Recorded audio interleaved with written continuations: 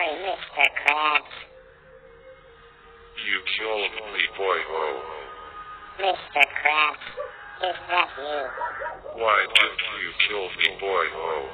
I did. It was Clemson. You used the mind control element to make me kill you. Clemson is innocent.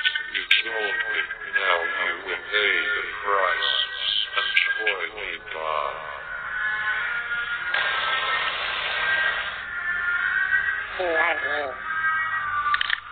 Santiago.